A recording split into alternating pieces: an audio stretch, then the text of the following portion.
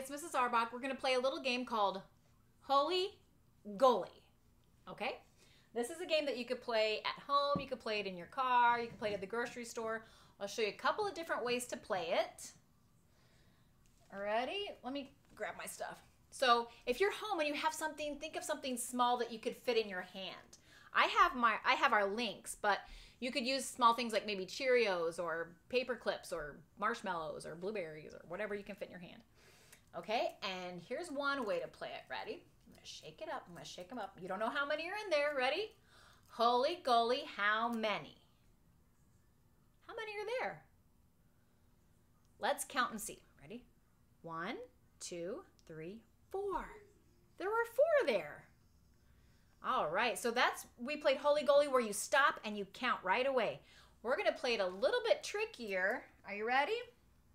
You don't know how many are in my hand now. Ooh. But I'm going to, I'm gonna put them on, on their little table and hide them. And you're gonna guess how many were there. Ready? Hully Gully, how many? How many were in there? Do you have a guess? Let's see if you're right. How many were in there? One, two. Two were there. Okay, we can play that also with our with our plates, with our subitizing plates. Okay, now we will play it first where I stop and hold it and you count. Let me find one. And then we'll play it where you have to look really fast. Okay, ready? So, hully gully, how many? How many are there? One, two, three, four, five. There were five on there. Okay, let me try the trickier way. Ready? Hully gully, how many? how many were on there?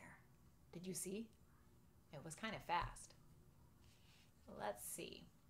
Pull it up and we're going to count to see if you are right. One, two, three. There were three on there. All right. Now I said you could play this at home, right? But I also said you could play it in the car or the grocery store. Do you always have this stuff at the car or in the grocery store? No, but you have these. You have your fingers. So you can play Hully Gully with your fingers too. Okay, so here's what you do. Ready? Same way. I'll hold them so you can count, and then we'll play it the tricky way where I hide my fingers. Ready? Hully gully, how many? How many fingers do I have up? One, two, three, four, five, six, seven. I had seven fingers up. Okay, now we'll play it the tricky way. Ready? Hully gully, how many? Did you see how many fingers I had up? Let's see if you're right. How many fingers did I have up? One, two, three, four, five. I had five fingers up. So you can play Hully Gully at home with little objects or with little with our subitizing plates, or you could play Hully Gully in the grocery store with just your fingers or whatever. Okay? Have fun. Bye.